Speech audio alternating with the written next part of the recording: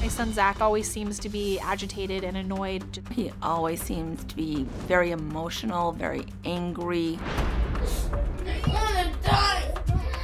Small things can set off Zak. Zak doesn't have a personality. When the whole family's sitting there laughing, say at a movie or something that's going on in the house, he will start screaming at everybody. I don't know if Zak enjoys anything in life.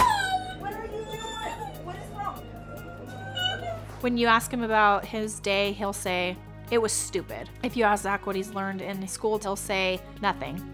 For years to come, I am worried that Zak is going to end up in the wrong place at the wrong time. I hope she dies tonight. 10 year old Zak was diagnosed with autism at age eight. His family says since that time, he has been experiencing temper tantrums on a daily basis. So, joining us is board certified behavior analyst Megan St. Clair, who spent a few days with the family in their home. Also joining us is Dr. Charles Sophy, psychiatrist and medical director for the County of Los Angeles uh, Department of Child and Family Services and member of the Dr. Phil Advisory Board. Uh, so, thank both of you for Thank you. joining. We're going to get contributions from both of you here. Megan, let me start with you. Um, what was your general impression of Zak when you left? that he was very receptive to treatment and that if we change the environment and how everyone is currently managing his behavior, we can see a lot of success. I've learned that people resort to violence when they run out of socially acceptable ways to express themselves. So if they don't know how to say what you want them to say or do what you want them to do, then they'll just blow up. That's when they start throwing things, yelling, melting down. And I think he's covering a lot of deficits with his meltdowns. I agree. Yes. What do you guys think from what you what what you saw in his response to basically some very fundamental, rewarding, good behavior, and putting the dots pretty close together on what was asked? Yeah, I do feel like um, when he wants something and he doesn't know how to ask for it, like in the kind way that we would know how, that's when he does get like maybe frustrated with himself, and that's when he will start the outburst.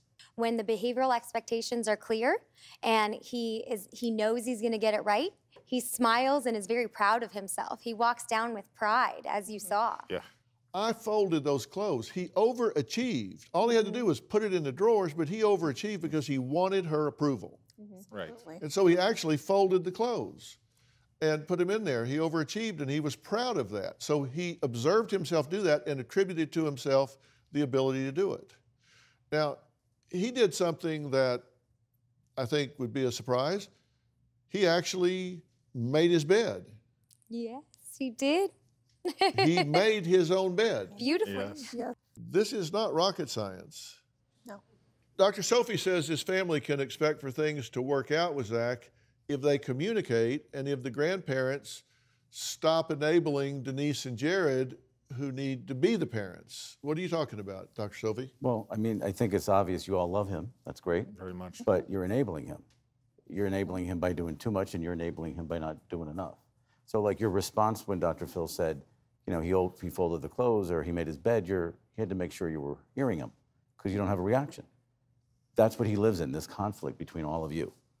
You have a boy with issues who has to navigate a lot of conflict and where his mother is and where his mother isn't and who he's bond. It's a lot of conflict. So the sooner you can resolve that, the quicker he'll get better.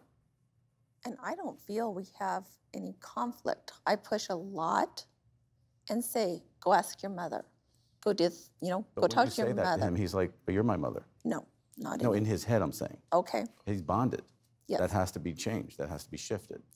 He loves you. He's angry at you. When he came down the steps for you, you could see he shifted a little bit. He wasn't really comfortable. He's doing it, but he's got feelings about it for you.